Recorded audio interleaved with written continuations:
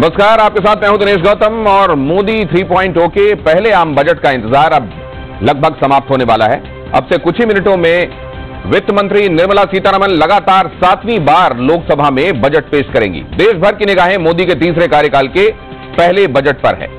Service class से लेकर किसान और बड़े कारोबारियों से लेकर रेहड़ी पटरी वालों को वित्त मंत्री का पिटारा खुलने का इंतज़ार है। इस बार मोदी सरकार उनके लिए क्या सौगात लेकर आने वाली है इस बात का शिद्दत से इंतज़ार हो रहा है।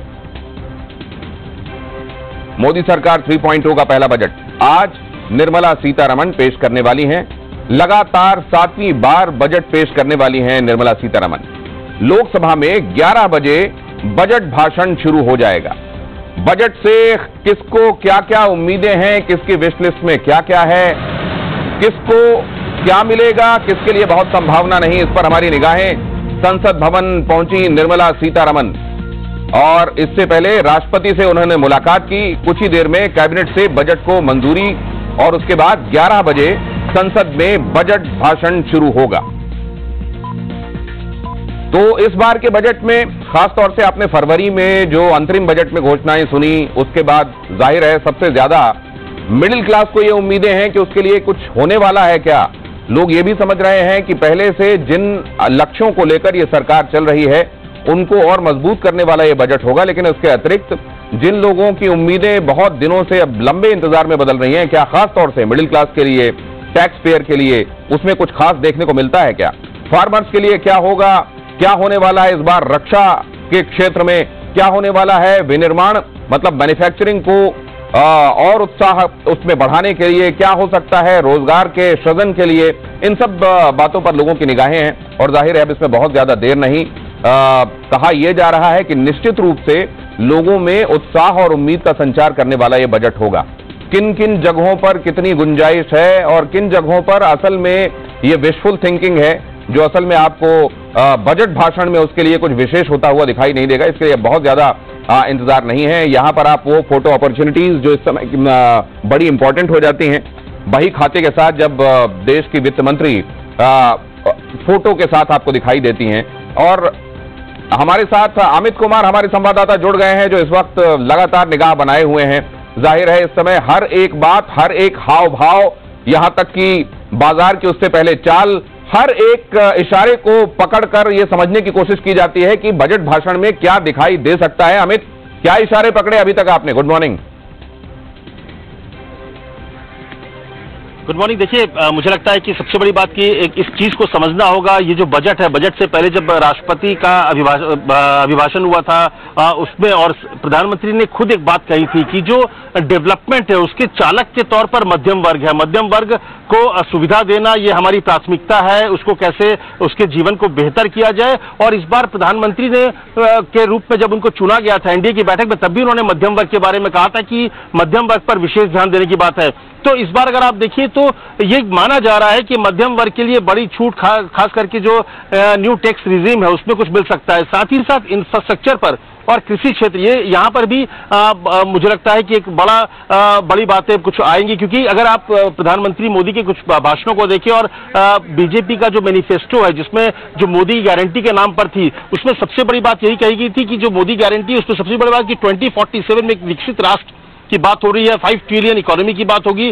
थर्ड दुनिया की सबसे बड़ी इकोनॉमी है। तो इन तीन चीज़ों का एक खाका आपको मुझे लगता है उसका जो एक बेस है आपको इस जो मैंने जो जो बजट आएगा उसमें दिखेगा कि अगर हमको फोर्टी सेवन में ट्वेंटी फोर्टी सेवन एक विकसित राष्ट्र का की जो संकल्प को पूरा करना है तो उसके लिए जो भी उपाय करने हैं। और शास्त्रियों से जब बात हुई तो उन्हें उन्होंने भी कहा था कि जो इंफ्रास्ट्रक्चर मैन्युफैक्चरिंग इन सब जगहों पर ज़्यादा इन्वेस्ट करने की ज़रूरत है उसको और मज़बूत करना है। कृषि के क्षेत्र में तेज़ी कैसे आई वो महत्वपूर्ण है। कृषि और किसान जो है लगातार एक तरह से सरकार से नाराज़गी है। चुनाव नतीजों के बाद भी कहा जा रहा है कि गरीब और जो तो वर्ग है बड़ी बात के साथ शुरुआत की है। अक्सर मिडिल क्लास को ये लगता है कि वो उपेक्षित रह जाता है उस पर उतना ध्यान नहीं देता दिया जाता है।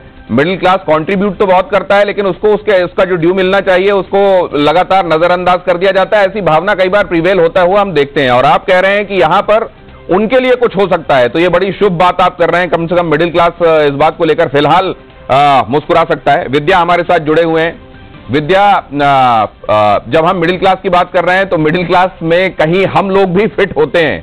आ, आप क्या उम्मीदें कर रहे हैं? और आप जब आसपास लोगों से बातें करते हैं तो बजट को लेकर उनकी उम्मीदें क्या है? ये बात देखते हुए कि पिछले 10 साल से पॉलिटिकल सिनेरियो जो चला आ रहा था उसमें अब तब्दीली है। तब्दीली है लेकिन वैसी नहीं है कि सरकार बदले। सरकार अपनी जगह पर कायम है लेकिन कुछ चीज़ें बदल चुकी हैं। ऐसे में बजट को लेकर क्या उम्मीदें? जो दिनेश देखिए पिछले 10 साल में टैक्स रिजीम या फिर कहें कि टैक्स लैब जो है, उसको लेकर उम्मीद जो मिडिल क्लास कर रहा था, क्योंकि मिडिल क्लास वो वर्ग है जो सबसे ज़्यादा टैक्स पे करता है और सबसे ज़्यादा सरकार के खजाने को भरता है। उन लोगों की उम्मीदें हैं इस बार कि कम से कम जो टैक्स लैब है, उसमें बदलाव हो एटीसी एटीडी डायरेक्ट डिडक्शन उसमें फ़ायदा लोगों को मिले। तो मैं ऐसे बहुत सारे लोगों के साथ इस वक्त बैठा हुआ हूँ जो मुझे लगता है कि वो भी उम्मीद कर रहे होंगे कि पिछले 10 साल में जो नहीं हुआ, वो शायद इस बार हो जाएगी। हालाँकि पिछले 10 साल के मुकाबले इस बार की जो बीजेपी की सरकार एनडीए की सरकार है वो सीटों के मामले में देखे तो पहले के मुकाबले में थोड़ी कमज़ोर है। तो बजट भी कमज़ोर रहने वाला है या बजट मज़बूत होगा खासतौर से आम लोगों के लिए? क्या नाम है आपका? आ, मेरा नाम डॉक्टर राजीव कुमार। डॉक्टर साहब क्या लग रहा है कि आप लोगों को इस बार क्या चाहिए बजट में और किसकी संभावना आप लोगों को लग रही है? देखिए मैं तो गवर्नमेंट सर्वेंट हूँ और एटीसी में कोई भी बदलाव नहीं आ रहा। तो एटीसी की छूट बढ़नी चाहिए। इसके अलावा जो डबल टैक्सेशन मारता है हमें क्योंकि सैलरी में से तो टैक्स कट ही जाता है। बाकी सामान पे भी हमें टैक्स देना पड़ता है। तो उसमें भी कुछ हमें राहत मिलनी चाहिए। जी। और देखिए यहाँ पर महिलाएँ हैं क्योंकि महिलाओं को लाखपति बनाने की योजना है सरकार की। तो महिलाएँ जो हैं क्योंकि महँगाई की मार भी है और उस मार से भी महिलाएँ दो चार हो रही हैं लेकिन इसके अलावा जो वर्किंग महिलाएँ हैं उनको सैलरी का जो टैक्स है यानी कि इनकम टैक्स जो है उसमें भी राहत की उम्मीद है। क्या नाम है मैम आपका? मेरा नाम निरुपमा सिंह है। आपको क्या चाहिए इस बार के बजट में मोदी सरकार के बजट में? जो हमको चाहिए वो सरकार तो दे नहीं पाएगी। क्या ऐसा है आप लोगों को लग रहा है जिसकी उम्मीद पाले बैठे? हम लोग जो घर काम जो गृहिणी हैं उनके लिए सरकार जो है राशन पानी सब में तो बजट हमारा बिगड़ रहा है। जितना बजट हम सोचते हैं जब मार्केट जाते हैं तो सब पे दस पाँच रुपए बढ़ा होता है। तो हम चाहते हैं कि जो राशन है जो बाकी चीज़ें हैं घर की जरूरतें हैं उन पे टैक्स कम हो जाए और हम लोग को उससे सहूलियत मिले। जो हमारा बजट तो हमेशा बिगड़ा ही रहता है। हाँ। तो इस बार सोचते हैं कि सरकार कुछ ऐसा करे कि बजट हमारे बजट में फिट हो जाए। बजट में फिट हो जाए या फिर सरकार अगर टैक्स में छूट देती है तो लोगों की जो आमदनी है उसमें इजाफा होगा। मतलब जेब में पैसा थोड़ा ज़्यादा बचेगा। क्या नाम है आपका? विंदा चावरे। विद्या इसको समझ लेते हैं जरा हमारे साथ यहाँ एक्सपर्ट हाँ, मौजूद है tax expert Himanshu Kumar. Class की तरफ़ से बोलना मैं आपके पास आता हूँ। ये गृहिणियों की एक बड़ी मांग है और साथ में एक बात ये भी कही जा रही है कि इस बार खरीद को प्रोत्साहित करने के लिए इकोनॉमी को और बढ़ाना है तो आपको लोगों के कंजम्पशन को और प्रोत्साहित करना पड़ेगा। विनिर्माण पर ध्यान देना पड़ेगा। लेकिन ये चीज़ें कहीं और महँगाई को बढ़ाने वाली तो साबित नहीं होंगी। पहले एक बार आपको सारे मेहमानों से मिलवा देता हूँ। दुष्यंत नागर हमारे साथ जुड़ रहे हैं, जो कि राजनीतिक विश्लेषक हैं। हमारे साथ जैसे मैंने आपको बताया, टैक्स एक्सपर्ट हिमांशु कुमार यहाँ स्टूडियो में मौजूद हैं। प्रोफेसर जीवीआर शास्त्री हमारे साथ जुड़ रहे हैं, जो कि पॉलिटिकल एनालिस्ट हैं। केशव भजन का हमारे साथ जुड़ेंगे, जो कि एग्जीक्यूटिव डायरेक्टर हैं सेंचुरी प्लाई इंडिया लिमिटेड के। और इसके अलावा अंकुश सबरवाल एआई एक्सपर्ट हमारे साथ जुड़ रहे हैं। कितनी बड़ी चुनौती और एआई की चुनौती को एड्रेस करने के लिए, खुद को इसके लिए लगातार तैयार करते रहने के लिए बजट में क्या प्रोविज़न दिखाई देते हैं, वो हमें बताएँगे। विकास कोठारी इंफ्रास्ट्रक्चर एक्सपर्ट वो भी हमारे साथ होंगे। और राजेश शर्मा हमारे साथ जुड़ रहे हैं, जो कि इकोनॉमिस्ट हैं। लेकिन पहले मैं जरा चलू हिमांशु जी, ये जो उम्मीदें हैं आसपास का जो रियल में आपको दिखाई दे रहा है और ये जो उम्मीदें दिखाई दे रही हैं, किसके लिए क्या गुंजाइश है? देखिए गुंजाइश की अगर हम बात करें तो इस बजट से थोड़ी बहुत उम्मीद है। क्यों उम्मीद है? उसके दो रीजन है। एक तो सरकार की जो पॉलिसीज़ है सरकार को भी ये कहीं ना कहीं लग रहा है कि थोड़ी बहुत अगर हम रियायतें नहीं देते हैं तो उससे उसका एक इम्पैक्ट निगेटिव आप कह सकते हैं कि निगेटिव उस तरह से माहौल बनाने की कोशिश की जा रही है। तो इसमें दो चीज़ें बहुत इंपॉर्टेंट है। पहले तो हमें ये स्ट्रक्चर समझना पड़ेगा कि दो तरह के स्ट्रक्चर चल रहे हैं देश में टैक्सेशन के। एक आपका न्यू रिजिम एक रोक रहा हूँ आपको। क्या आप ये कह रहे हैं कि जब सरकार पहले जितनी स्ट्रांग अभी कम से कम सीट्स के हिसाब से बीजेपी वैसी नहीं दिखाई दी है। तो ये रिफॉर्म के लिए अब उतनी गुंजाइश नहीं बनाती। अब थोड़ा पॉपुलिस्ट मेजर्स अपनाने पड़ेंगे। क्या आप ये कह रहे हैं? जी मैं ये नहीं कह रहा हूँ कि बहुत ज़्यादा लेकिन गवर्नमेंट को कहीं ना कहीं इस बात को भी अब कैटर करने की ज़रूरत है कि इलेक्शन पॉइंट को भी उन्हें ध्यान रखना पड़ रहा है। उससे क्या हो रहा है कि जो अपोजिशन पार्टी है वो कहीं ना कहीं इस चीज़ को प्रोपोगेट कर रही है। तो गवर्नमेंट को इस बार कहीं ना कहीं कुछ कंसीडर करना पड़ेगा क्योंकि एक मास लेवल पे एक मैसेजिंग क्लियर हो कि गवर्नमेंट ऐसा नहीं है कि केवल कॉर्पोरेट के लिए सोच रही है। तो इसको लेकर मुझे लगता है कि इस बार गवर्नमेंट अच्छी खासी रियायत देने की कोशिशें होंगी। इसमें दो चीज़ें बहुत इंपॉर्टेंट सर मैं आपके पास आपकी परमिशन से लौटता हूँ। केशव भजन का हमारे साथ जुड़ गए हैं। Executive director century ply India limited के। आ, आ, आपको मैं पहले इंट्रोड्यूस करा चुका हूँ केशव भजन का जी आपका इंतज़ार हो रहा था। आपकी विश लिस्ट क्या है?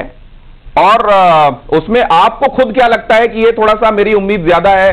आ, लेकिन इतना तो पूरा हो जाएगा।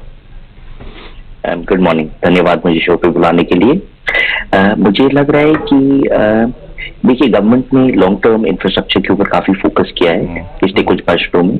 और मैं उम्मीद करता हूँ कि ये वापस कंटिन्यू करे तो द इन्वेस्टमेंट इन इंफ्रास्ट्रक्चर ये हाउसिंग सेक्टर को काफ़ी बेनिफिट करेगा। और जैसे आप जानते हैं कि हम बिल्डिंग मटेरियल प्रोडक्ट्स में हैं तो हाउसिंग सेक्टर जैसे ही बूम करता है पूरी इकॉनमी बूम करती है और हमारे जैसे प्लेयर्स डेफिनेटली बेनिफिट करेंगे।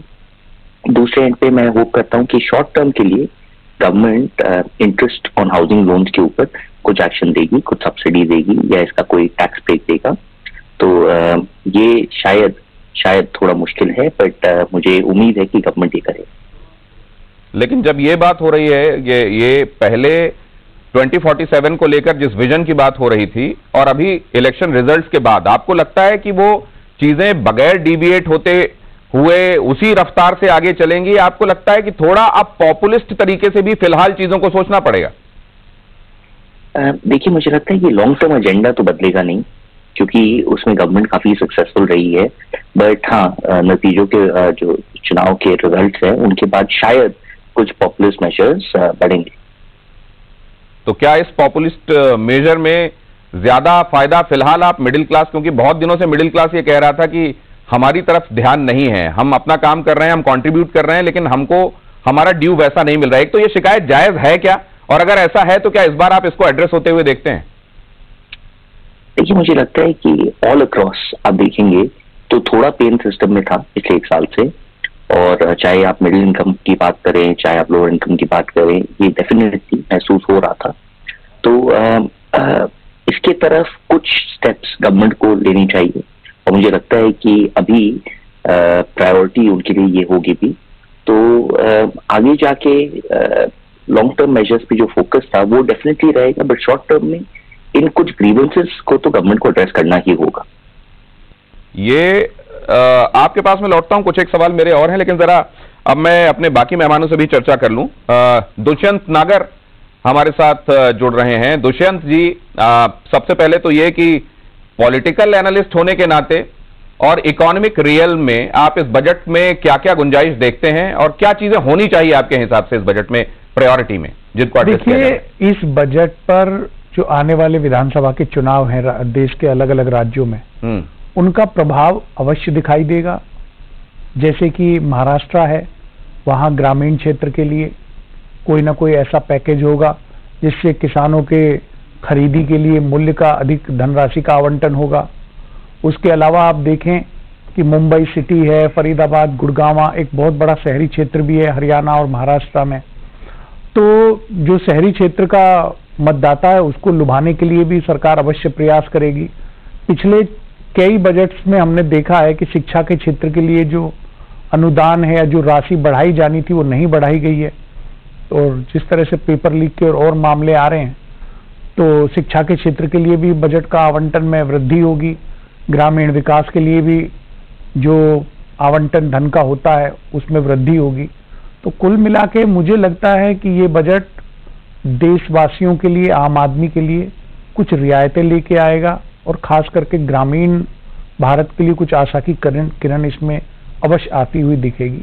प्रोफेसर जीवीआर शास्त्री भी हमारे साथ जुड़े हुए हैं। प्रोफेसर साहब, ये ये बात ऑल अक्रॉस सोची जा रही है कि इस बार थोड़ा पॉपुलिस्ट रास्ते पर सरकार चलेगी, चुनाव को ध्यान में रखते हुए चला जाएगा। अब जब बीते दिनों की हम वो बातें और स्टेटमेंट दिमाग में रखते हैं कि हम कभी भी कुछ भी चुनाव को ध्यान में रखते हुए नहीं करते हैं, देश हित में जो फैसले होते हैं, वो लेते हैं, क्या वो बातें वैसी लागू होंगी या चीज़ें वाकई बदली हुई हैं इस बार?